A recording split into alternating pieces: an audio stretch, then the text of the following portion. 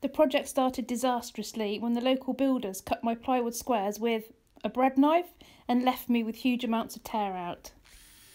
Undeterred, I did what Brits do best and I carried on. Here you can see me pre-drilling the holes and countersinking them ready for the screws.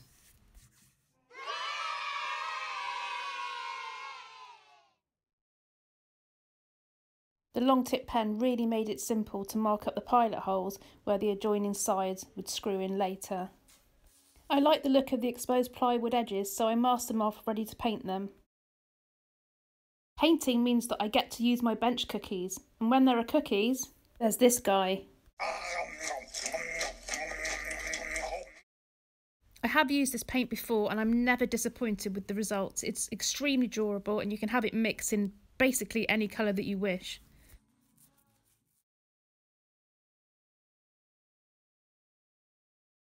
You can see in this image that the tear out's still really visible, but it was going to be contained on the inside of the box, so I could live with it.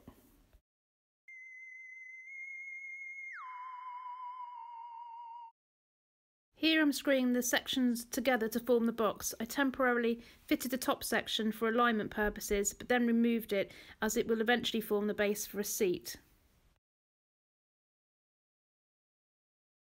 I had four 4 inch hairpin legs. They're powder coated and I'd salvaged them from a previous project. I was really happy with the way these looked.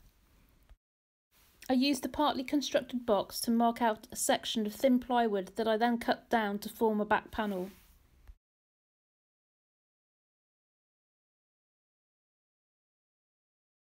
Here I'm using spray adhesive to attach the piece of leftover fabric I then fixed the completed panel to the back of the box by nailing it and I think this panel will provide some extra strength to the structure. I managed to salvage some foam and wadding for some old seating. This worked perfectly and makes for a really comfy seat. The spray glue made short work of sticking all the layers together. Before cutting, I draped the material over the foam and ensured there was enough spare fabric around all sides to pull up to staple.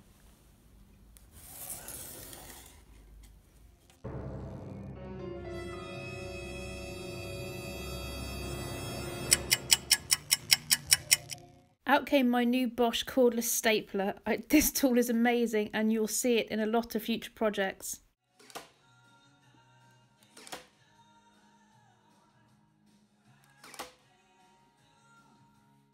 Once stapled, I flipped the seat over and it was all cushiony and ready to go. I know I said I could, but I just can't live with seeing the tear out at the front section of the box. So I cut down two cork placemats and glued them in, and now I'm happy. Now we're ready to attach the seat top. I screwed it on with some small brackets so that if the fabric ever needs changing, it's simply a matter of undoing the screws. Here I'm using the boiled linseed oil to seal the exposed edges of the plywood. I'm really really happy with the way the orange paint and the blue look against the finish of the oiled wood. All done now, just time to put it in place and fill it with records. All in all, I was pretty happy with this build. I'll be taping and cutting my own plywood from now on, but adding the cork not only hid the tear out, I guess it also provided extra cushioning for the records. Please join me on my next video where I'll be making giant build number 2. Thank you for watching, commenting and subscribing.